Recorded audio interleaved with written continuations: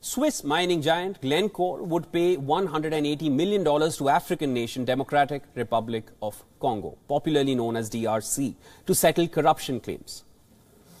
Glencore, one of the world's largest commodities companies, employing around 135,000 people in more than 35 countries, was being probed by the United States Department of Justice and the DRC's National Financial Intelligence Unit, amongst others.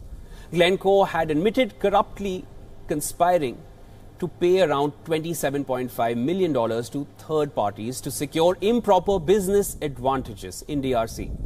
The money paid will be part of an agreement covering all present and future claims arising from any alleged acts of corruption by the miner in the country between 2007 and 2018.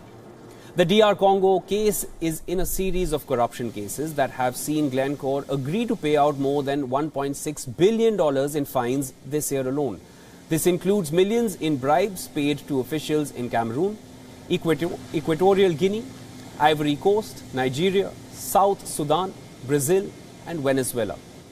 The mining giant owns several assets in the country, including the Mutanda copper cobalt mine and a controlling stake in KCC, a large copper cobalt project. However, despite the fines, Glencore is expected to make record profits of around $3.2 billion this year.